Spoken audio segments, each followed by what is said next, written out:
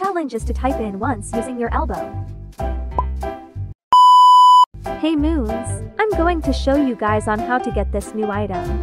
This one is very worth it and it's from Twice so let's go ahead and get it. Search up this game called Twice Square and make sure it's created by JYP Official. Once you're in game go ahead and enter the Set Me Free escape room. And once you're in it go ahead and follow where I go. Enter this pad and wait for it to load.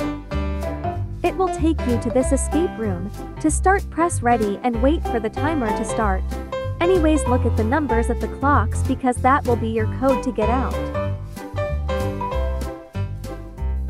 For the second escape room is to find the stuffed toys and put in its right frame. The animals will just be in this room and it's very easy to find.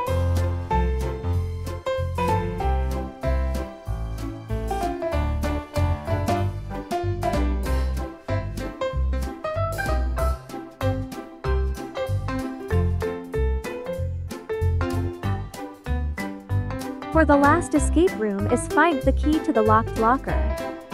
The key will only be found in these pink lockers. Once you've found the key go ahead and unlock the locked. Grab the violet light and look for the hidden code.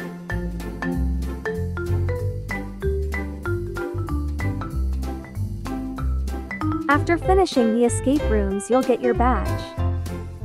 For the next item go ahead beside the Set Me Free escape room and open out of the collectibles. And from that you'll get the item with the badge.